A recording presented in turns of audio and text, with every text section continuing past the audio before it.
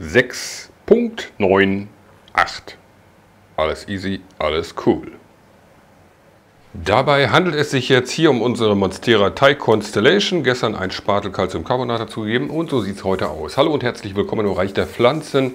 Wir starten auch sofort durch. Wir haben jetzt etwas Neu ist es nicht, aber wir gehen es heute tatsächlich an.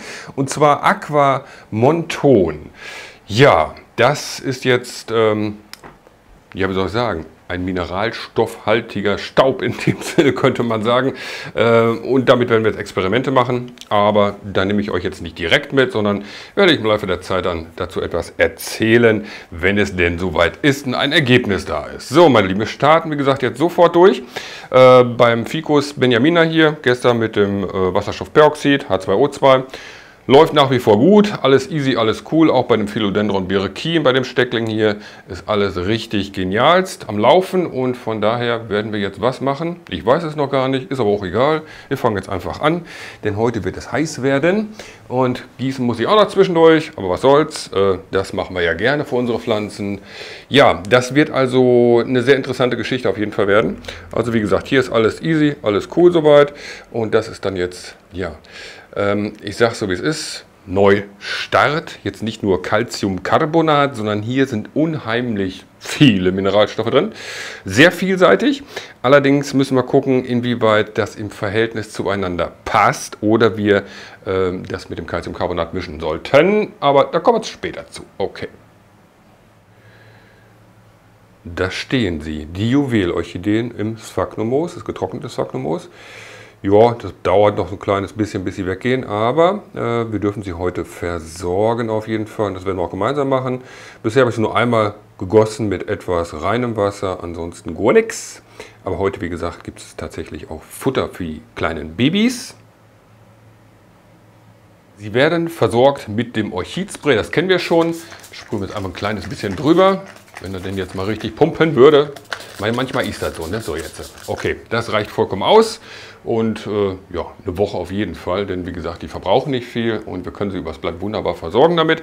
Kann man sicherlich auch noch anders machen, aber das, ich sag's mal so, bei dem Produkt äh, weiß ich, dass es richtig gut funktioniert, ohne dass irgendwelche Probleme auftreten. So, äh, Probleme auftreten. Ja, 6,67. Okay, also er geht runter hier.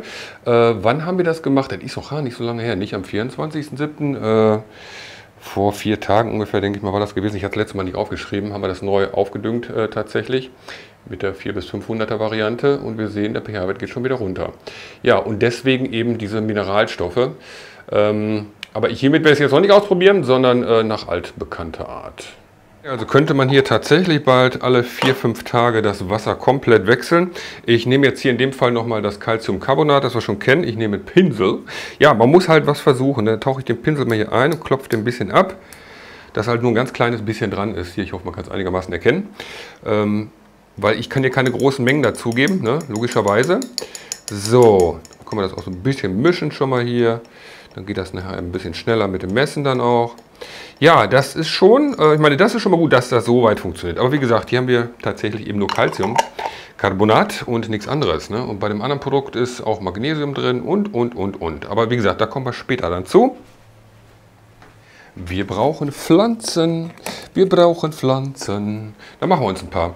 Ja, warum brauchen wir Pflanzen? Ähm, erstmal machen wir einen Kopfsteckling, würde ich sagen hier. So. Äh, wir brauchen Pflanzen für Experimente.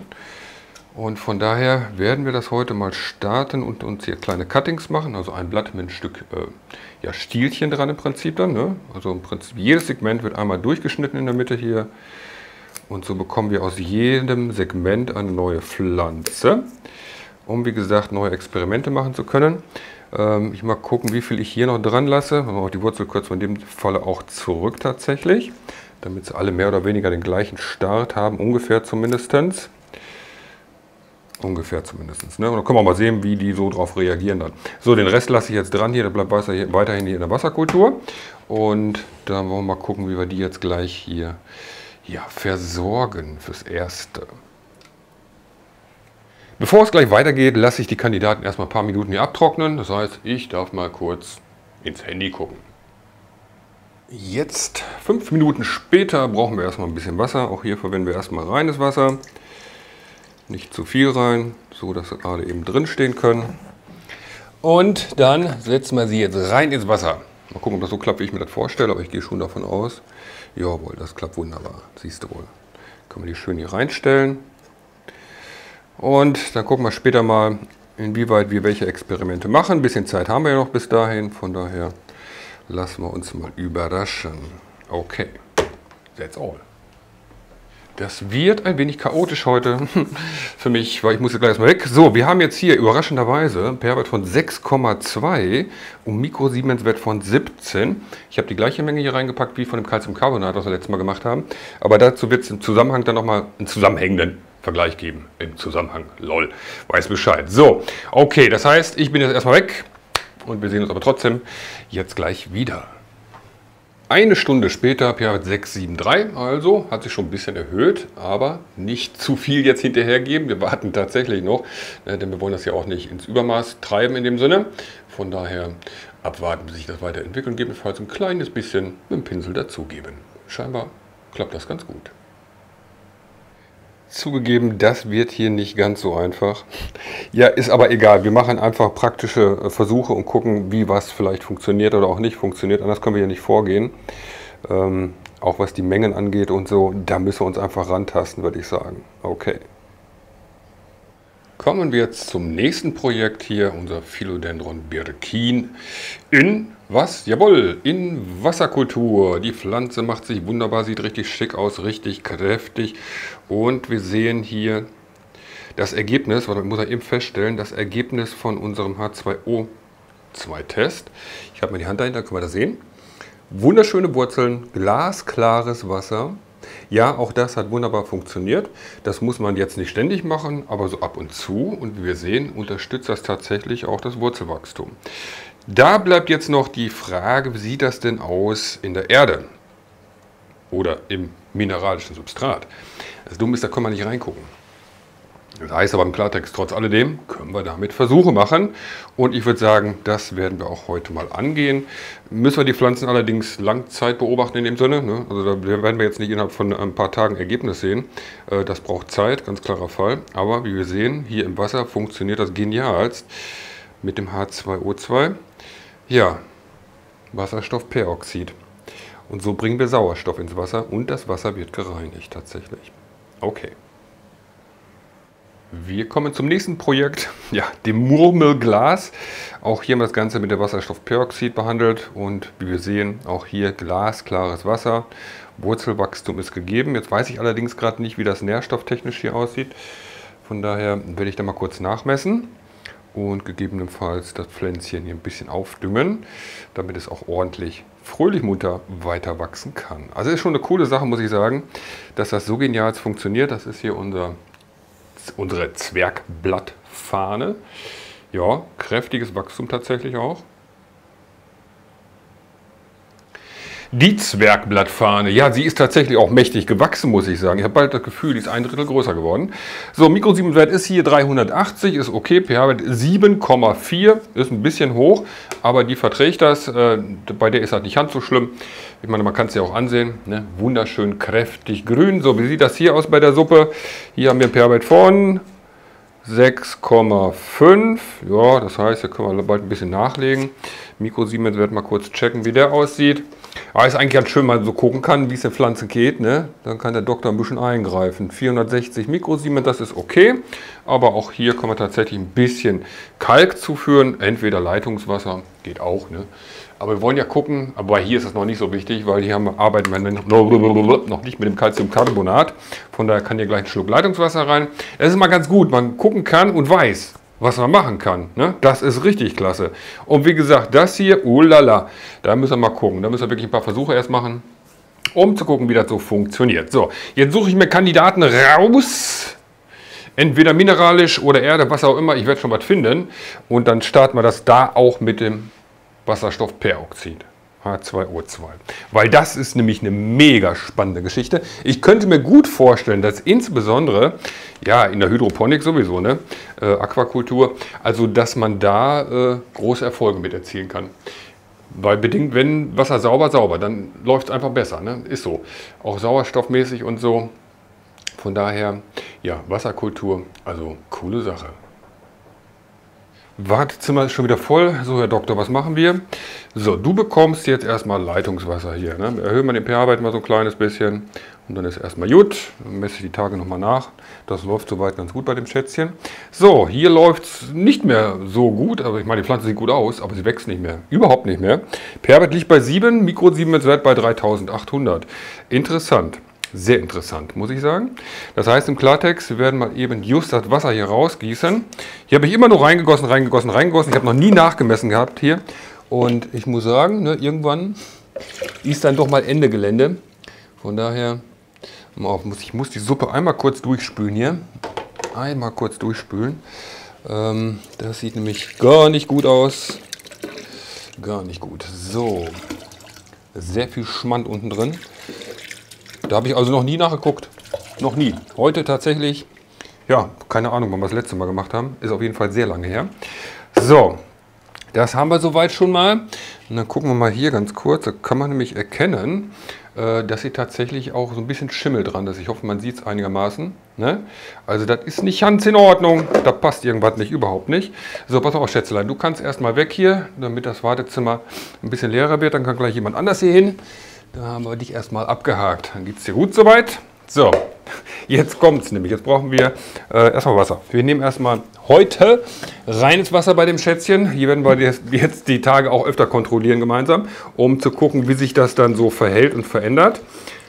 Hatte ich vorhin gesagt, Mikro Siemens 3700? Ja, das ist ein bisschen heftig für das Schätzchen, auf jeden Fall. So, jetzt brauchen wir unser Wasserstoffperoxid, H2O2. Äh, braucht man nicht schütteln, lol. Quack mit so, du weißt Bescheid. Das ist im Effekt, ne? Wenn du eine Dose in der Hand nimmst oder eine Flasche, dann erstmal schütteln, ne? So, die sechsprozentige Lösung nehmen wir jetzt hier. Was hatten wir bis jetzt Maximum? Weißt du es noch? Genau, 5 Milliliter auf 1 Liter. So, dann ziehen wir uns das mal rein hier. Ich hoffe, da war jetzt genug. 4, 5, jawohl. 5 Milliliter von dem Wasserstoffperoxid. Hier geht es jetzt darum, tatsächlich A, Sauerstoff reinzukommen, in die, bekommen in die Bude und zum anderen, ähm, dass das gecleant wird. Ne? So, okay, einmal umrühren vielleicht. Wäre vielleicht nicht verkehrt. Boah, ich bin schon wieder bei tausend anderen Sachen. Ich bin gedanklich schon wieder noch drei Schritte vorwärts hier. Das ist aber auch manchmal, wenn du so viel hast, ne, aber okay, wie gesagt, das Projekt werden wir jetzt auf jeden Fall intensiv begleiten gemeinsam. Die Wurzeln sehen übrigens sehr gut aus, wunderschöne kleine weiße Spitzen auch dran. Also das hat soweit eigentlich ganz gut funktioniert. Ne? So, in dem Zuge machen wir das jetzt hier anders. Äh, wir werden ihn fluten. Im Normalfall würde ich sagen, wenn jetzt alles okay gewesen wäre, gießen wir damit. Ne? Also nicht viel, sondern im Prinzip schluckweise. Aber heute tatsächlich werden wir das Schätzchen hier fluten, denn hier ist einiges drin, was nicht in Ordnung ist. Es ist aber auch so, das ist einer der ersten Kandidaten gewesen, die wir damals ins Mineralsubstrat gepflanzt haben, mit Erde. Ne? Also Erdtopf und dann ins Mineralsubstrat gepflanzt. Das wird wahrscheinlich auch dem geschuldet sein, dass das irgendwann gar nicht mehr so richtig funktioniert. Und von daher, ja, man sieht auch tatsächlich, ich hoffe, nee, so viel kriegen wir jetzt leider nicht rein, dass es schwimmt, weil sonst äh, läuft mir der Pott über hier. Hier kommt nämlich lauter weißes Zeug hoch. Also tatsächlich Schimmel. Ja, ist so. Okay. Wow, ganzer Liter. Ganzer Liter weg. Haben wir denn noch ein kleines bisschen Platz da drin? Bisschen ist noch. Ich setze noch eine kleine Menge an, äh, dass wir vielleicht jedenfalls doch noch mal gucken können, wie das aussieht, weil das sieht nämlich überhaupt gar nicht gut aus, muss ich sagen. Okay, sehen uns gleich wieder. So schaut es jetzt aus bei dem Kandidaten, bei unseren Patienten. Also hier war es echt höchste Eisenbahn einzugreifen. Ja, ist schon ganz gut, dass wir so Experimente machen. Ne? Das ist schon gar nicht so verkehrt. So ist der Pott voll bis oben hin. Und dann gucken wir mal, wie sich das jetzt im Laufe der nächsten Tage entwickeln wird. Also bin ich echt mal gespannt drauf. Ja, ne, so ist das. Dann kann man das Ganze auch mal spülen. Jetzt habe ich allerdings keinen Kandidaten direkt in Erde. Ich gucke gleich nochmal, suche nochmal rum, ob ich was finde, aber ja gut, ich habe welche, aber die möchte ich nicht opfern. äh, sag ich es mal so. Äh, da kann ich keine Experimente mitmachen, aber ich gucke nochmal in die Runde, vielleicht finde ich ja doch noch was. Also sieht schon heftig aus, muss ich sagen. Ne? Das ist also tatsächlich hier in dem Substrat komplett am Schimmeln. Okay. Das sieht doch schon mal ganz gut aus. pH-Wert 6,8, das ist okay. So, wir haben ja schon ein Schätzchen, äh, den wir tatsächlich, wo wir das ab und zu mal machen. Letztes Mal haben wir das gemeinsam gemacht auch. Dann werden wir es heute auch machen. Äh, das ist unser, unser Pilea, peperum, Pilea peperomioides äh, in der Holzkohle. In der Holzkohle. So, jetzt nehmen wir dementsprechend hier ausnahmsweise heute mal nur reines Wasser, um es einfach mal auszuprobieren. Ne? Was passiert denn, wenn? Hier müssen allerdings Nährstoffe dazugeben. Ich weiß jetzt aber auch ehrlich gesagt nicht, wie viel jetzt drin ist, weil ich kann ja nichts nachmessen. Ich gebe jetzt mal Pi mal Daumen so 0,3 Milliliter rein erstmal. Ne, mehr geht immer. Und dann wollen wir gleich mal gucken, was dann so passiert. So, 2,5 Milliliter jetzt von dem Wasserstoffperoxid, also die Hälfte, ne, weil wir haben jetzt so einen halben Liter hier angesetzt. Ja, und inwieweit der Dünger zusammenwirkt mit dem H2O2, das äh, weiß ich nicht. Wird vielleicht mal irgendwann interessant werden. So, dann gießen wir das jetzt über die Oberfläche auch drüber hier tatsächlich. Einmal drehen bitte. Der darf heute auch gegossen werden. Das passt natürlich ganz, ganz gut jetzt. Ne? Dann können wir das tatsächlich einmal machen. So, hier noch einen kleinen Schluck und da noch einen kleinen Schluck drüber. So, Dale. Sollte das reichen? Ich denke mal ja. Ne? Ich lasse das mal ein bisschen einwirken hier und dann gucken wir gleich mal, was dann dabei rumkommt. In dem Zuge können wir schon mal gucken, was wir hier Mikrosiemenswert haben. Ja, das ist 260, das ist okay, da passiert auf jeden Fall nichts. Weil ich weiß, wie gesagt, nicht, was hier drin ist. Ne? Von daher habe ich jetzt erstmal weniger gegeben. Mehr nachlegen können wir immer noch. Jawohl, das heißt, ich darf jetzt noch mal einen Moment warten. Ach, das Wartezimmer ist wieder so voll. Ich sage dir, du, oh Mann, ich schicke die gleich alle nach Hause, du, sage ich dir? pH-Wert bei 6, ja, das war auch anzunehmen, dass das so ist, ne, weil es ist reines Wasser und dann noch Nährstoffe dazu von Compo Complete. Das ist soweit okay. Die Werte werden sich aber noch wieder verändern im Laufe bis zum nächsten Tag. Das wissen wir ja schon. Ne? Äh, vielleicht sollte ich den Rest hier mal stehen lassen, dass wir dann morgen nochmal checken, wie es aussieht. Ne? Sollen wir machen? Doch, ne? So, dann schauen wir uns jetzt mal die Pflanze an. Also da geht es richtig gut, muss ich sagen, der Pilea. Ja, das läuft soweit, muss ich. Also mit der Holzkohle, wie gesagt, da ist eine coole Sache. Und deswegen ist das nicht so tragisch, dass hier der pH-Wert jetzt so niedrig ist. Allerdings äh, checken wir das dann jetzt auch nochmal im Untersetzer. Ist auch nur eine Momentaufnahme, aber man kann so ein bisschen wenigstens von ableiten. Okay. And the next project. So, hier läuft das Ganze wirklich richtig gut, muss ich sagen. Auch hier in der Wasserkultur. Richtig genial, muss ich sagen. Nachgemessen habe ich jetzt nichts, ähm, werde ich jetzt auch nicht, aber ich gieße jetzt tatsächlich hier von dem auch mal mit rein nochmal. Ja, so ab und zu mal einen Schluck mit beigeben. Ist dann nicht so verkehrt, dass wir so im Laufe der Zeit mitnehmen, was so passiert in dem Sinne. Ja, also bis jetzt sieht es gut aus, muss ich sagen. Aber wie gesagt, mit dem Wasserstoffperoxid, das mache ich jetzt nicht ständig. Ne? So, ich weiß nicht, wie oft wir das später mal anwenden werden. Ich denke mal vielleicht einmal im Monat oder zweimal im Monat oder wie auch immer. Aber insgesamt auf jeden Fall eine richtig coole Sache. So, was haben wir jetzt hier gegeben? Wir haben hier äh, Mikro Siemens Wert nochmal anmachen kurz. Stopp. Äh, 730. Ne? Also gut, dass wir weniger Dünger genommen haben. pH-Wert. Ja, toll, ist ja auch wieder aus. Ja, das kommt davon, man das. Äh, ne? Immer wieder mal eine kleine Pause macht. Wir haben jetzt 5, nee, 6,7. 6,7. Das wird aber noch ein bisschen steigen, weil wir jetzt reines Wasser genommen haben. Ne? Und das löst natürlich nochmal den Kalk, der jetzt äh, an der Holzkohle ist oder wie auch immer, im Substrat. Das löst sich jetzt noch mit und dann steigt der Wert wieder. Ne? Weil das ist jetzt eine Momentaufnahme, das dürfen wir nicht vergessen. Ne? Von daher nicht, dass du anfängst zu messen, denkst, oh 6,5 beispielsweise, ne? oh da muss noch ein bisschen Kalk bei, dann gibt es noch Leitungswasser hinterher. Am nächsten Tag hast du einen pH-Wert von 8. Ne? Also da bitte aufpassen. Das muss miteinander erst reagieren. Das dauert ein bisschen. Ne? Der Kalk löst sich jetzt in das äh, reine Wasser rein und dementsprechend steigt der pH-Wert dann da auch wieder an. Ja, Herr Doktor, was machen wir denn, wenn er zu groß wird? Der Kandidat. Ähm, ja, die Peperomia äh, Raindrop. Ähm, wenn sie zu groß wird, machen wir was?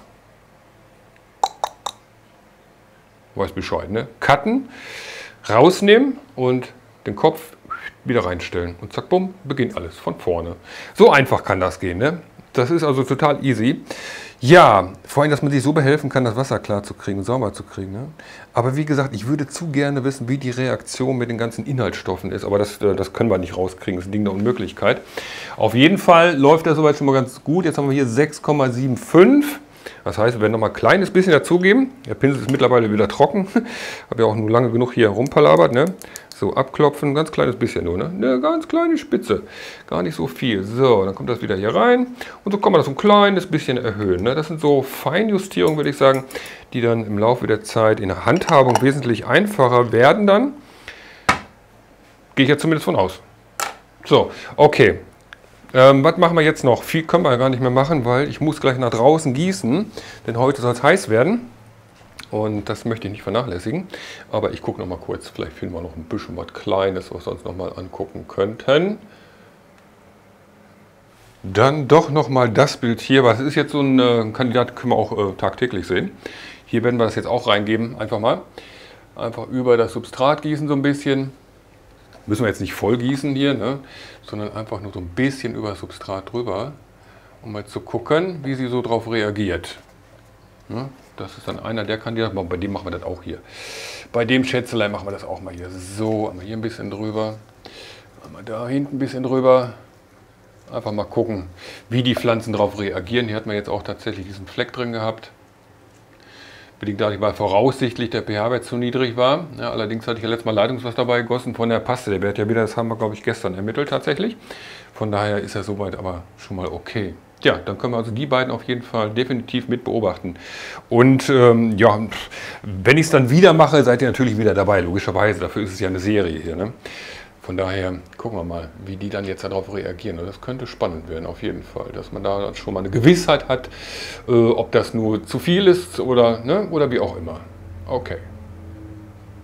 Schauen wir doch mal bei der Pilea kurz vorbei. Was, was du jetzt weiß siehst hier, das sind Kalkränder. Ne? Also es ist kein Schimmel in dem Fall hier, sondern Kalkränder.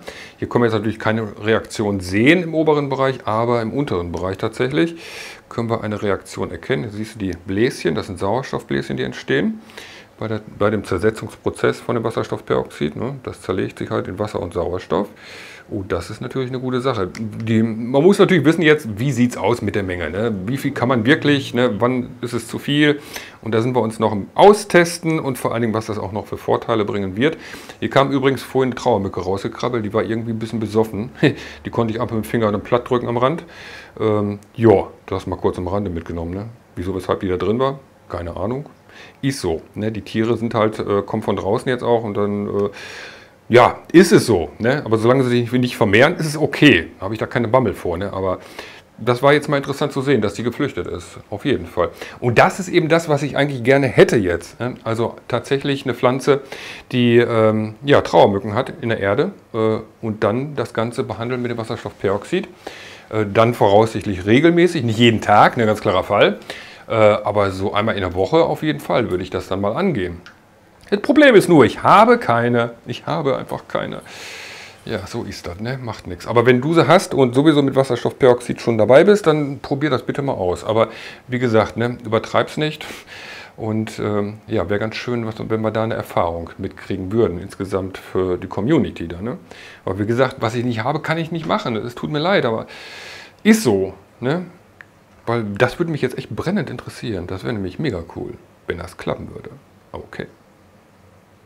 Ich renne hier von einer Pflanze zur anderen, bin überlegen, was ich alles noch machen kann. Das ist verrückt. Es ist wirklich verrückt. So, das Allerwichtigste beim Wasserstoffperoxid ist herauszufinden, äh, vertragen die Pflanzen das? Was kann man da wirklich machen? Äh, inwieweit tut den Pflanzen das gut? Aber mich würde echt tatsächlich interessieren, äh, in welchem Zusammenhang das Wasserstoffperoxid bei der Zersetzung dann Inhaltsstoffe angreift, zerlegt vielleicht, ähm, wie Nährstoffe oder hast du nicht gesehen, ne? oder irgendwelche Oxide, die im Wasser drin sind oder in, in, den Substraten drin sind beispielsweise. Das könnte auch eine interessante Sache sein. Aber wie gesagt, das rauszufinden, das ist ein Ding der Unmöglichkeit, also für uns hier, ne? das geht nicht. Da müsste man wirklich ein Labor haben, um das alles äh, ja, rauszufinden, was da für Prozesse stattfinden, die vielleicht auch schädlich sein können. Das wissen wir alles gar nicht. Deswegen bleibt uns nur eins, einfach mal machen, nicht lange lachen, weiß Bescheid und ne, so ist das dann.